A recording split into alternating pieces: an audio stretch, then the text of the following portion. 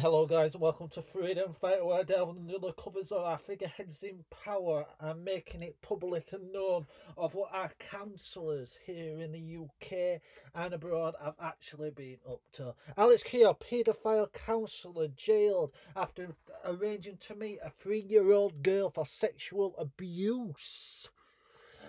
Alex Kear told undercover police officer posing to be a toddler's mother. The older I get, the younger I seem to like. Absolutely and utterly disgusting. Disgusting, this guys.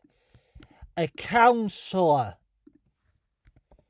decides it'll be fun to meet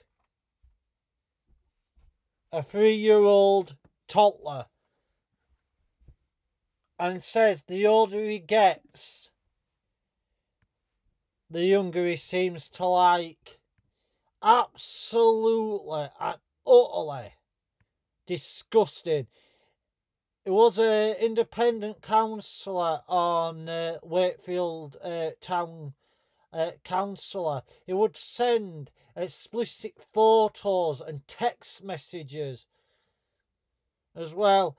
The guy and he was 50 year old was 50 years old and he was arrested in August last year and he was and he was three months after he was elected as councillor in the Airedale area.